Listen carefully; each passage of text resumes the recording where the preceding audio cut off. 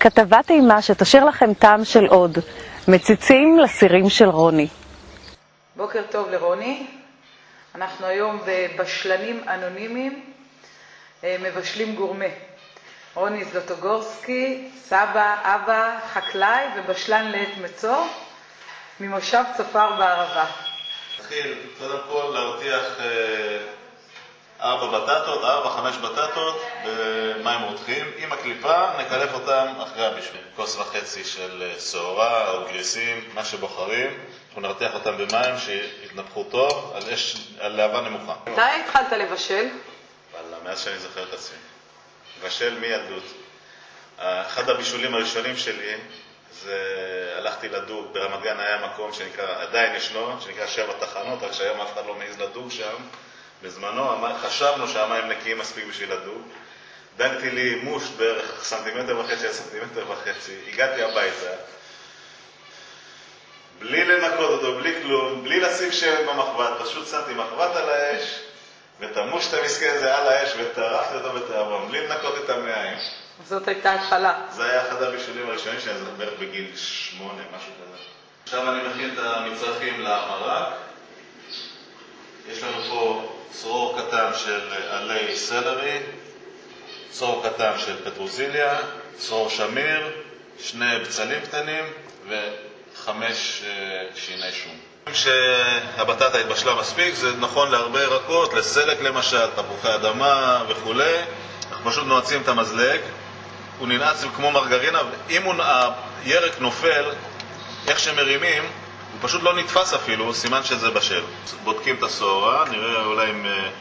בדרך כלל היא מתנפחת לי קצת יותר, אולי אם הייתי עושה עם גריסים עגולים זה היה קצת זה, זה צריך להיראות בערך כמו הגרגר הזה. היות וזה למרק, אין לי בעיה לקבצ'ש את הזה, גם במילא אנחנו אה, נבלנדר את הכל עם בלנדר stick.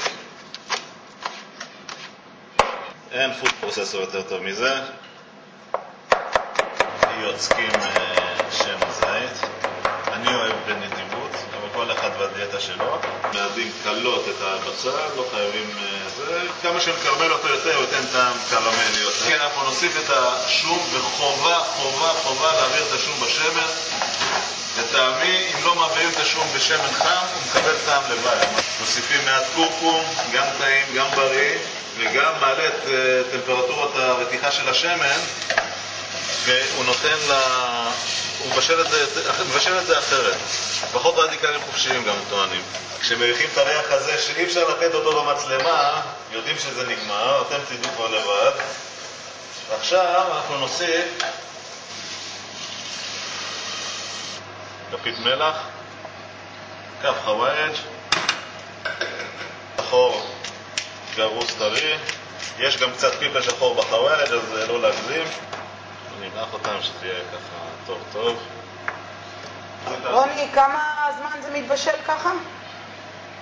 עד שמוכן. לא, אין שום בעיה לשים גריסים במרק ולאו דווקא במחית. עכשיו נוסיף זסטים של לימון, קצת בערך כפית, לא יותר, על בטטה אחת, זסטים. נוסיף לבטטה. תראו את הצבע, איזה צבע מדהים. לימון, הגרעינים ביד, המיץ בסלט. נמעך ונערבב. עכשיו אפשר להוסיף לזה המון המון תבלינים ש... שמתלבשים על זה, כל אחד לפי טעמו. מה שאני הולך להוסיף פה... רוני הולך לכתוב בזיליקום. איזה ענף או שניים של טימין. פה במקרה יש לי טימין לימוני, אבל אפשר כל טימין שהוא. קצת, עכשיו קצת נאנה או מנטה. אה, הריחות האלה, רק מה שיש לי ביד זה כבר מעדן בפני עצמו. אנחנו קוצצים עכשיו את הטימין, בזיל, נאנה ומעט אורגנו, בזיל, ריחן למי שלא יודע, ונוסיף את זה עוד פעם לבטטה הקדושה. נערבב את זה, ואחרי זה נערבב את זה עם השעורה. שמנו לנו כאן צלחת מרק, פה יש רוטב צ'ילי תאילנדי, לא מתוק ממי שמכיר, קצת עירית וקצת בצל ירוק, ואני מקווה שהפורמה תצא בקלות, בלי שאריות, ויישאר גוש יפהפה. חבל על הזמן. המרק קצת אה, יצטנן, אנחנו מבלנדרים אותו.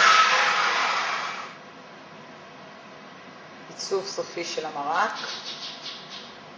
תיאבון.